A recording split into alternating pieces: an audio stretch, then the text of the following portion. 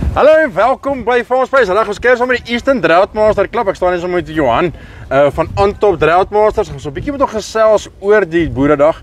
Ehm um, nou gaan praat oor die Droughtmaster en hoe hy hom sien en hoe hy hom sien in die kommersiële mark en pas. Op die einde van die dag, dit is wat ons doen. Ons wil wille vir die mark bring uh wat die kuddes in die kommersiële kuddes kan optel. Ons hoor 'n bietjie wat is sy gevoel. Johan, goeiemôre. Dis nog nee, middag al. Hoe gaan dit? Goed om jou tennis. Nee, baie goed, dankie. Uh Johan, jy kom al 'n hele ruk sterk ruk saam met die met die Drought Masters. Ehm um, julle begin nou goed begin nou regtig eenvormig lyk like, jy begin hulle gaan nou begin nou kant toe teel. As ons so in 'n kort opsom waantoe is julle op pad? Wat wil julle teel?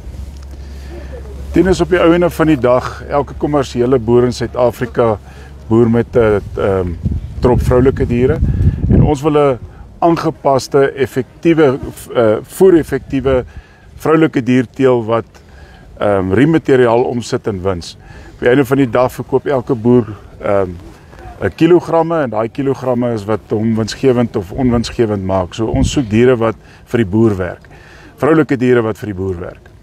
Ehm um, as ons kyk na die vroulike diere, ons praat ons praat ons van gewig en ons het in verlede en ons kyk in Amerika en so kyk ons na hierdie ouens hierdie massiewe groot koeie. Ehm uh, goeders wat nie eens meer self kan kalf nie. Hulle doen omtrent net keisers nie wat hulle nie meer in die mark in ons mark glad nie inpas nie.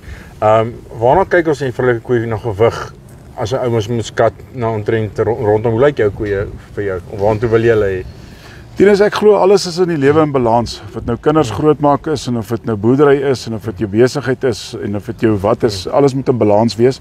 So dieselfde ding met jou beeste, alles moet in balans wees. Te groot, te klein is verkeerd. 'n uh, Area gaan bepaal wat 'n die dier se gewig is en wat 'n die dier se grootte is. So ek dink dit gaan baie area gebonde wees in my wêreld. Um, is vir my 'n ideale koei tussen 500 en 550 kg.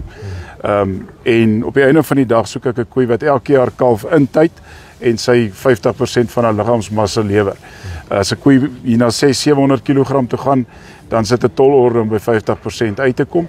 Ehm um, daai gewig wys vir my net 'n mooi medium ram dier is 'n dier wat baie maklik herbeset raak, is 'n dier wat haarself baie goed kan handhaaf op die veld en ook vir haar kalf kan sorg. Soek graag 'n dier wat op die veld vet is, maar ook 'n vet kalf het. Jy soek nie 'n vet koei met 'n markkalf nie en ek soek ook nie 'n markkoei met 'n vet kalf nie, want daai markkoei gaan nie weer beset raak nie. Ehm um, so dis waartoe ons mik. Ehm um, as ons praat van die Amerikaanse mark, ons het nou 'n baie interessante praatjie gehad rondom die voerkrale en die ehm um, prystendense in die wêreld en die speenkalfpryse in Amerika is nou sky high as gevolg van 'n tekort aan kalvers. Ehm um, vir jare het die Amerikaners geteel vir dit wat die packers en die en die voerkrale soek en hulle het vergeet dat hulle hulle goue eier is die koei wat elke jaar kalf en vir hulle ordentlike kalf lewer.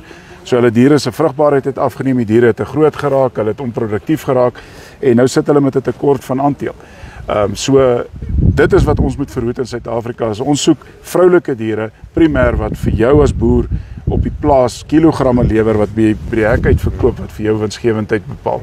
En ek dink dis wat die Droughtmaster baie goed doen. Sy naam staan hom redelik gestand om te sê uh, deur tawwe tye, moeilike tye, die raamgrootte is reg, die tipe is reg. Hy's aangepas op wye dele van Suidelike Afrika en uh um diere wat al bewys is op baie dele in Namibië uh um daar in die Karoo bossies. Ons het wye areas waar ons teelers het wat bittergoeie resultaat kry um met hulle vroulike diere wat produktiwiteit en effektiwiteit en aanpasbaarheid en betref. Ja. So kyk hier agter jou staan dan 'n paar 'n paar kommersiële diere. Ons het vir mense wys met um, met 'n Troutmaster bulle se colors langs hulle. Ehm um, as mens kyk na ouens wat wat sit met 'n hy het 'n klomp funksionele koeie op sy plaas deur die jare geteel. Ehm um, hy soek dalk 'n bietjie meer eenvormigheid. Hy soek 'n bietjie raak 'n bietjie meer daai drought resistant as ek die woord mag so gebruik. Ehm um, hy het 'n bietjie meer funksionele dier en eenvormigheid. Dis wat die Droughtmaster vir julle nogal sterk bied.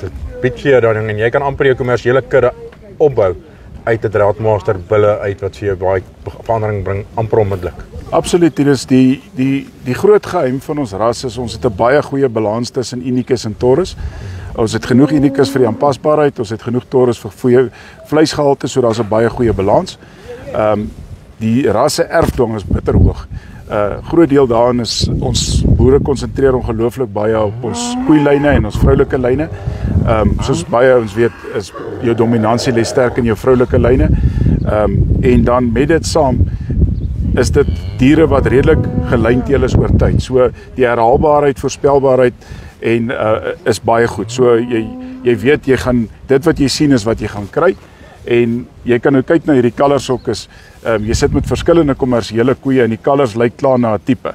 Ehm um, ons teelbeleid is baie streng en so ook ons uh, keringsbeleid is baie streng. So ehm um, ons is vas. Ek meen as 'n wit kolletjie ergens op die lyf verskeer ons dit af. Mense kan sê dit is mos nou nie ekonomies nie, maar op die einde van die dag gaan dit vir ons daaroor ons soek 'n eenvormige tipe bees wat rooi is, wat aangepas is. Ehm um, daar's baie poenskop in die in die ras, nie noodwendig vereiste nie, maar as baie poenskop. Ehm um, die tipe, die eenvormigheid waantoe ons werk is 'n is 'n medium ram bees wat op die veld aangepas is en wat op die veld vir die boer gaan werk. Lekker boerbees as hy nog op Poenawek by is. Lekker boer. Dit, dit maak dit 'n bietjie makliker. Maak dit Johan, makliker. dankie. Dink julle het 'n goeie dag aangebied en ek sien uit wat julle in die toekoms gaan doen.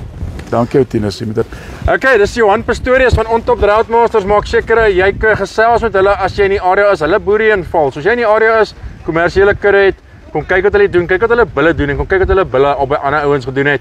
Uh die bulle maak werklik 'n verskil en dan sê ons dankie vir Voormal OVK wat hierdie dag vir ons moontlik gemaak het. Tot 'n volgende keer. Totsiens.